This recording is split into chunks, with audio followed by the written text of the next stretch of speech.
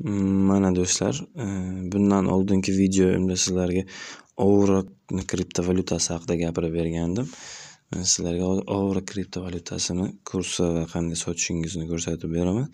Bu programma e, mana Ovro to'rt nol to'rt. Siz bir million Ovro ishladingiz deylik. Bu to'rt dollar bo'ladi. To'rt dollar. Bu to'rt dollar pulni siz chiqara olmaysiz, chunki eng kamida o'n dollar pul bo'lishi kerak.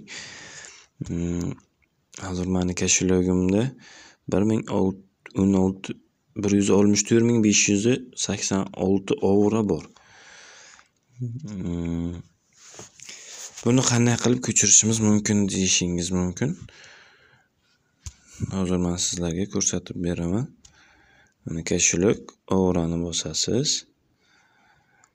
Mana depozitni bosasiz va mana bu Ovrongizni mana shu koshelogingizni mana shuni skopировать qilasiz mana.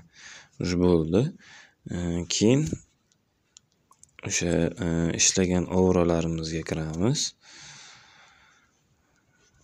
Mana. Mana Sputnik bir sahifasiga kiramiz. Va mana shu yerda, mana shu mana adres получателя ana shu yerga shuni qo'yamiz.